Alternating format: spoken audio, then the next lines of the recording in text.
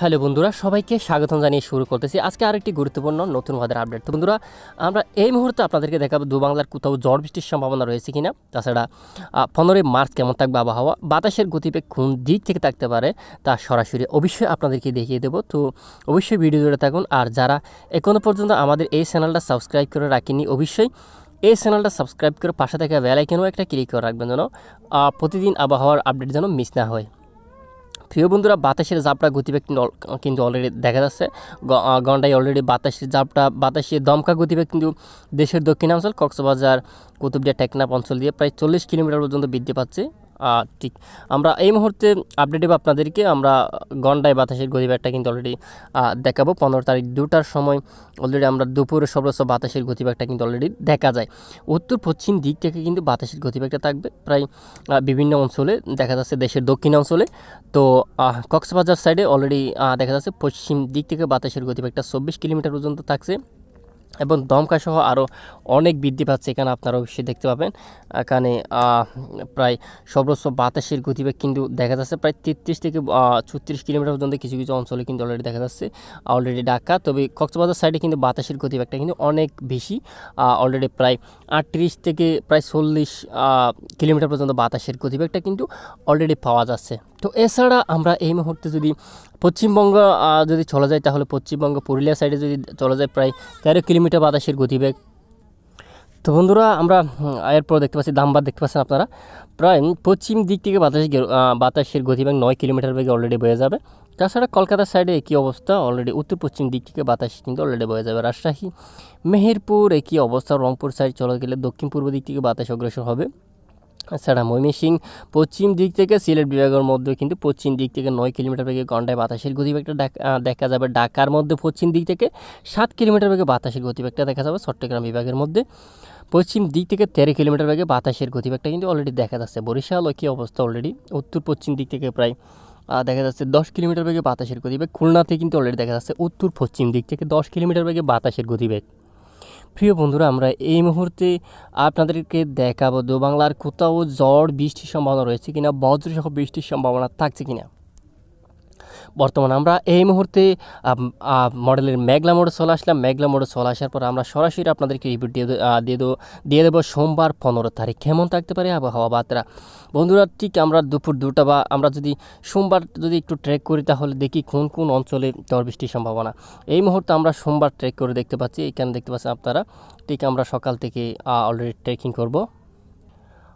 বন্ধুরা দেখতে পাচ্ছেন আপনারা অলরেডি এখানে দেখতে পাচ্ছি কিছুটা ঝড় বৃষ্টির সম্ভাবনা। আলিপুরদুয়ার, তারপর গোলাপাড়া এই অঞ্চল দিয়ে, শিলিগুড়ি, দার্জিলিং এই অঞ্চলে কিন্তু অলরেডি কিছুটা মেঘের প্রভাব ঘটবে। এছাড়া বিচ্ছিন্নভাবে কিছু কিছু অঞ্চলে হালকা বা মাঝারি ধরনের ঝড় বৃষ্টি। আলিপুরদুয়ার শহরে গোলাপাড়া তারপর গুয়াহাটি, শিলং এই অঞ্চলের দিকে কিন্তু অলরেডি আসতেছে কিছুটা ঝড় বৃষ্টি। তো যাই হোক আপডেটে অবশ্যই জানাব। যদি ঝড় বৃষ্টি তৈরি হয়ে যায়, যদি ঝড় বৃষ্টির সম্ভাবনা অলরেডি তৈরি হয়ে যায়, শিলং শহরে আরও কয়েকটি অঞ্চল দিয়া ঝড় বৃষ্টিটা কিন্তু অলরেডি দেখা যাচ্ছে। বাংলার আমরা দেখতে পাচ্ছি কোথাও তেমন ঝড় বৃষ্টি দেখতে দেখা মিলছে না। কলকাতা, পশ্চিমবঙ্গের অনেক জেলাসমূহ দেখতে পাচ্ছি ঝড় বৃষ্টির আপডেটটা কিন্তু নেই, ঝড় বৃষ্টির রিপোর্টটা কিন্তু পাওয়া যাচ্ছে না। যদি আবহাওয়া পরিবর্তন হয়ে যদি ঝড় বৃষ্টি শুরু হয়ে যায় বা চেঞ্জ হয়ে যায়, তা আমরা অবশ্যই আপনাদেরকে আপডেট দিয়ে জানিয়ে দেবো। কিন্তু বর্তমান তেমন ঝড় বৃষ্টির আপডেট কিন্তু পাচ্ছি না, তেমন ঝড় বৃষ্টির সম্ভাবনা কিন্তু পাওয়া যাচ্ছে না। প্রিয় বন্ধুরা, মঙ্গলবার ষোলো তারিখ ট্রেকিং করলে যদি আমরা দেখতে পারি, তাও কিন্তু একই অবস্থা। পরিস্থিতি কোথাও তেমন ঝড় বৃষ্টির সম্ভাবনা কিন্তু নেই, আর তেমন ঝড় বৃষ্টির সম্ভাবনা কিন্তু পাওয়া যাচ্ছে না। বন্ধুরা, কোন কোন অঞ্চলে কেমন ঝড় বৃষ্টির সম্ভাবনা আগামীতে থাকবে তাও কিন্তু আপনাদেরকে জানানো হবে। তবে আগামীতে আরও একটা ঝড় বৃষ্টি বজ্রসহ বৃষ্টি কিন্তু আসতে যাচ্ছে। তবে কবে, কখন থেকে শুরু হতে পারে তা অবশ্যই আমরা জানিয়ে দেবো আপনাদেরকে। এই মুহূর্তে আমরা পাচ্ছি আরও একটা ঝড় বৃষ্টি কিন্তু অলরেডি আসতেছে। তো তাপমাত্রা, মারাত্মক তাপমাত্রা কত ডিগ্রি সেলসিয়াসের মধ্যে? তাপমাত্রাটা কিন্তু থাকতে পারে। ঠিক দুপুর দুটার সময় আমরা চলে যাব পনেরো তারিখের মধ্যে, পনেরোই মার্চ। তো সোমবার দেখা যাচ্ছে অলরেডি তাপমাত্রা কোন কোন অঞ্চলে কেমন তাপমাত্রা বয়ে যাচ্ছে এখান থেকে আপনারা অবশ্যই দেখতে পাচ্ছেন।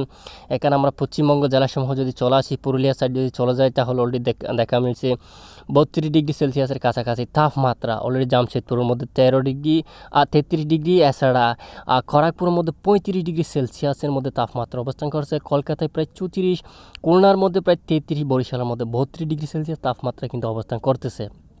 চট্টগ্রাম বিভাগের মধ্যে যদি আমরা চলে আসি, তাহলে একত্রিশ ডিগ্রি সেলসিয়াস তাপমাত্রা কিন্তু অলরেডি থাকবে। এছাড়া মহিষকালী কক্সবাজার, টেন্নাপ এলাকাগুলোতে কিন্তু অলরেডি প্রায় তিরিশ ডিগ্রি সেলসিয়াস তাপমাত্রা কিন্তু অবস্থান করবে। এছাড়া কুমিল্লা ছাড় যদি চলে যায়, প্রায় বত্রিশ ডিগ্রি সেলসিয়াস তাপমাত্রা কিন্তু অবস্থান করবে। ঢাকাতে যদি আমরা চলে যাই, প্রায় বত্রিশ ডিগ্রি সেলসিয়াস তাপমাত্রা কিন্তু অলরেডি অবস্থান করবে। সিলেটের মধ্যে যদি চলে যায়, তাহলে তিরিশ ময়মনসিংহের মধ্যে যদি আমরা চলে যাই, বত্রিশ ডিগ্রি তাপমাত্রা অলরেডি খালাইয়ের মধ্যে, প্রায় বত্রিশ রংপুরের মধ্যে তিরিশ ডিগ্রি সেলসিয়াস তাপমাত্রা কিন্তু অবস্থান করছে। মালদাতে প্রায় বত্রিশ ডিগ্রি সেলসিয়াস তাপমাত্রা অবস্থান করছে। এছাড়া রাজশাহী, মেহেরপুর এই অঞ্চল দিয়ে প্রায় তেত্রিশ তেত্রিশ ডিগ্রি সেলসিয়াস তাপমাত্রা কিন্তু অলরেডি অবস্থান করবে।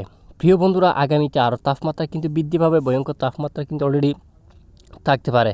সর্বনিম্ন তাপমাত্রা যদি আমরা যদি চলে যাই, তাহলে সকাল সকাল কেমন তাপমাত্রা থাকতে পারে? ঠিক আমরা সকাল পাঁচটা বা চারটা এই সময়ের মধ্যে যদি আমরা যদি দেখে নিই, তাহলে অলরেডি তাপমাত্রা কিন্তু বিভিন্ন অঞ্চলে একুশ উনিশ, বিশ, বরিশালে অলরেডি একুশ, চট্টগ্রামের মধ্যে বিশ ডিগ্রি, এছাড়া মহেশখালী, টেকনাফ অঞ্চলগুলোতে প্রায় বিশ ডিগ্রি সেলসিয়াসের মধ্যে তাপমাত্রা অবস্থান। কুমিল্লাতে অলরেডি দেখা যাচ্ছে উনিশ ডিগ্রি সেলসিয়াস তাপমাত্রা অবস্থান করছে। সিলেটের মধ্যে উনিশ, ময়মনসিংহের মধ্যে সর্বনিম্ন প্রায় সতেরো থেকে আঠারো ডিগ্রি সেলসিয়াস তাপমাত্রা কিন্তু অলরেডি নামছে।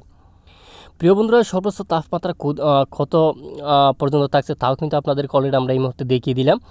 তো ঝড় বৃষ্টির আপডেটে কিন্তু এই মুহূর্তে আমরা আপনাদেরকে দিয়ে দিলাম। তো পরবর্তীতে কেমন যাবে তা অবশ্যই দেখার বিষয়। তো অবশ্যই আমরা দেখব, আপনাদেরকে জানাব। তো পরবর্তীতে আরও একটা ঝড় বৃষ্টি কিন্তু আসতে যাচ্ছে। কোন কোন অঞ্চলে শুরু হতে পারে তা দেখার জন্য সাথে থাকুন। আমাদের এই চ্যানেলটা সাবস্ক্রাইব করে পাশে থাকুন অবশ্যই। আর এই ভিডিওতে একটা লাইক দিতে বলবেন অবশ্যই একটা লাইক দেবেন।